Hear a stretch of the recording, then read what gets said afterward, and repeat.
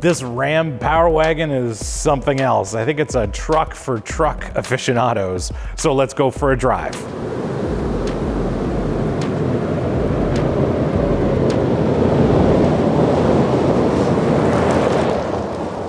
I'm your host, Brian Makse, racing driver and lover of driving fast, fun things. And while this isn't exactly fast, I guess it does fall into the fun category. And what they've done with this Power Wagon is turned a Ram 2500 into a legitimate off-roader. And if you don't think so, you're going to want to check out a previous video that I've done with Power Wagon. Basically drove it up and down a mountain in British Columbia.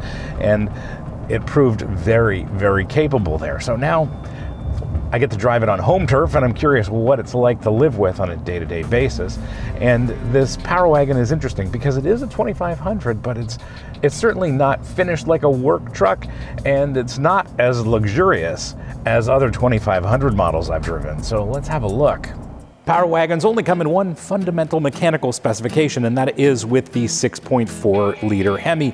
Here it makes 410 horsepower at 5,600 RPM and 429 pounds of torque at 4,000 RPM. It is paired with an 8 speed automatic, that is the only transmission, and it's also got a very charming shift on the fly manual transfer case.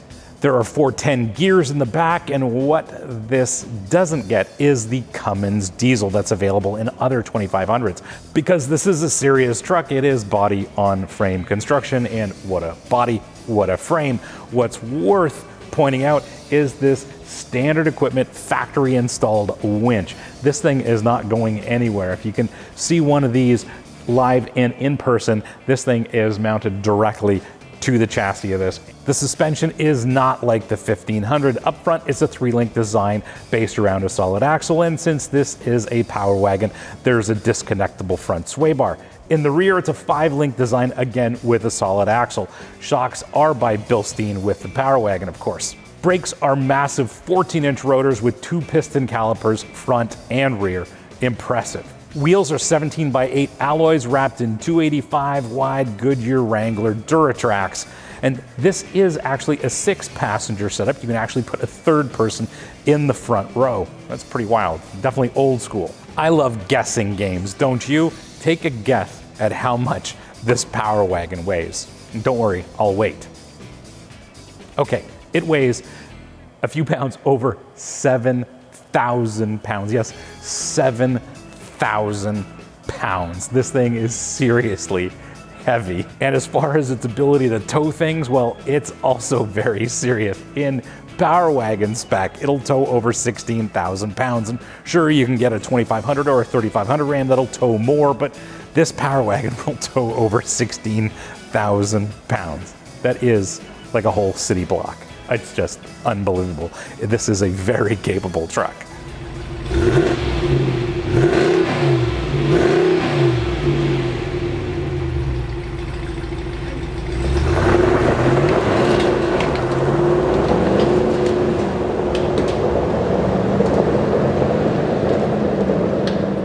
It's that time in the episode for how to spec your Power Wagon. And even though there are less expensive 2500s, we're just talking about Power Wagon in this episode. In the US, base price is 53,350. Here in Canada, it's 65,295.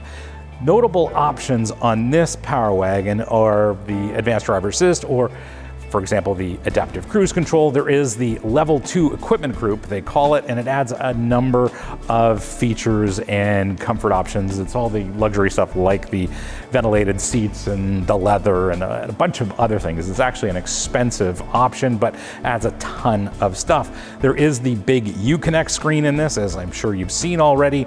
There are dual alternators on this one sunroof as well as the RAM boxes. And I don't think I'd use the RAM boxes, but that's another story. As tested in the US, it's 69,705. Here in Canada, it's 81,115, and that is before any local taxes, delivery incentives, or anything like that. So get your own pricing when you go to your Ram dealer. In terms of how to spec your Power Wagon, well, that's, I think, gonna be up to you because the drivetrain is just one specification. There are a couple of things I have to render an opinion on. First is the Power Wagon decal on the sides of this Power Wagon. Absolutely, I would delete that. There's no question. It just doesn't work for me aesthetically. Again, I don't think I'd use the RAM boxes and most of the options that this one is equipped with, I would definitely take because it is a very functional, very comfortable, very usable truck that way. Our interface with any vehicle starts right here in the driver's seat, and this is the first time in a long time I've sat in something where I cannot feel perfectly comfortable. Now, I am not driving a high performance supercar or a muscle car. Now, I'm driving a big Ram 2500, but I would like a little more functionality in terms of the way this seating position is designed. Now, the seat is as low as it's going to go, and there are a number of considerations around the seating position. One is you need to be able to see out of this thing because it is massive. It's enormous. And sitting up here, you get a good view of the hood and you can really tell where all four corners are, and that's great. But the problem is, I'm kind of on the short side, and what I feel is that my lower legs are kind of dangling off the seat cushion here. I'd love to get the seat lower, but I know that's the wrong thing to do because I won't be able to see out of this Ram. As well, the steering wheel only tilts. That's all it does. And there's, you know, I can't imagine. Can you imagine driving like this? This is just silly. And I've got it set basically to the tallest position, but I just can't get perfect behind the wheel of this big Ram. That said, the seat is very comfortable and very supportive. And yes, this one has uh, got heating and cooled seats, and that's great.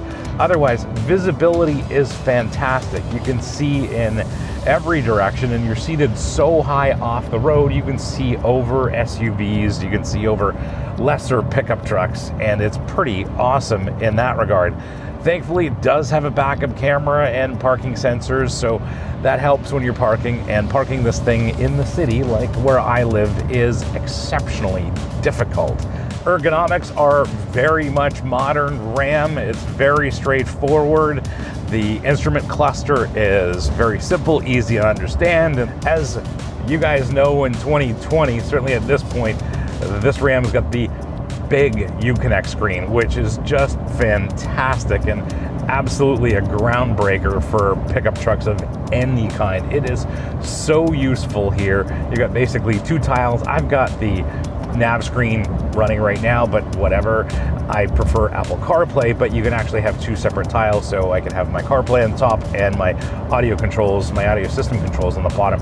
This Power Wagon is ridiculously spacious inside. I am sure this interior is bigger than many condos here in the city of Toronto.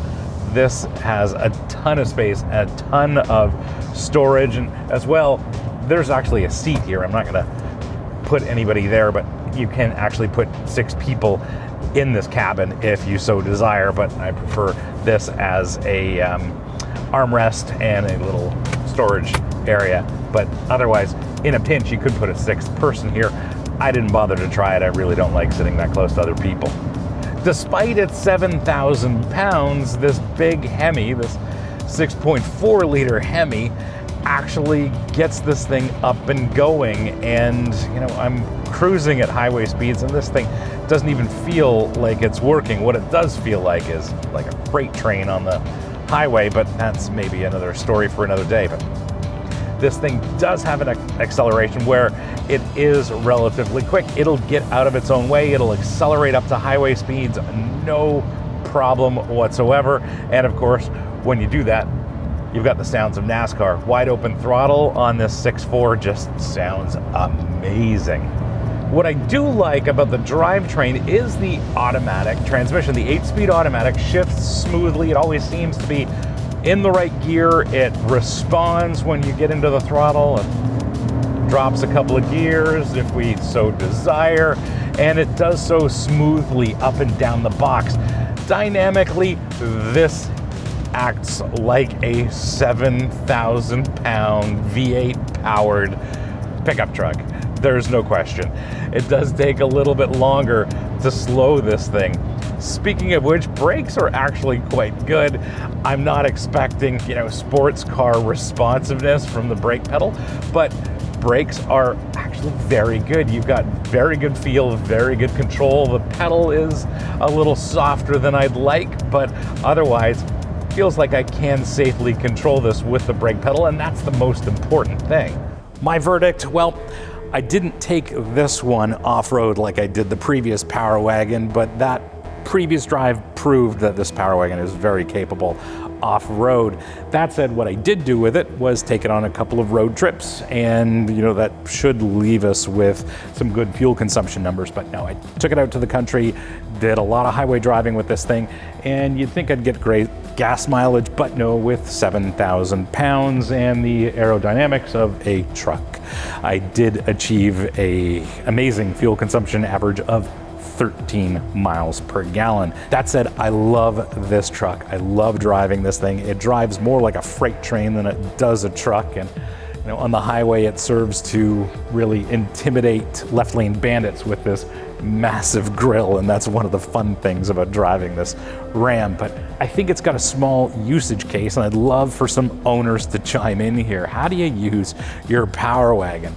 This is a very versatile truck. It'll go off road, it'll haul tons of things, it'll carry tons of things, it'll take six people in a pinch, and it is a beast of a truck.